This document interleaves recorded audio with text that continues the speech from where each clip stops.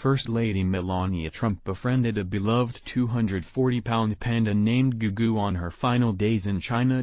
When President Donald Trump departed Asia, the First Lady remained behind to tour the Beijing Zoo and the Great Wall of China. She was reportedly greeted by children waving models of Chinese and American flags and singing.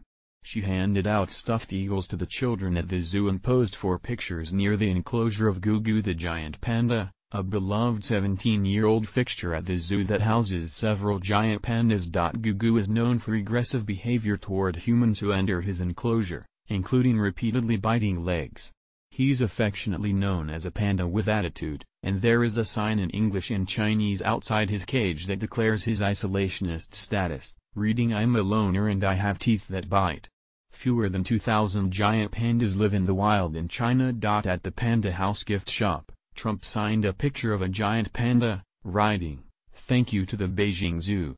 Wonderful to meet Gugu.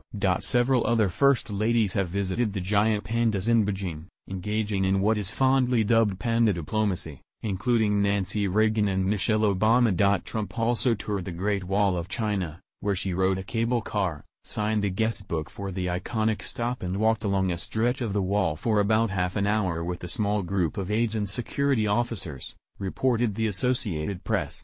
She received a scroll as a gift before leaving China for Alaska, where she will greet troops.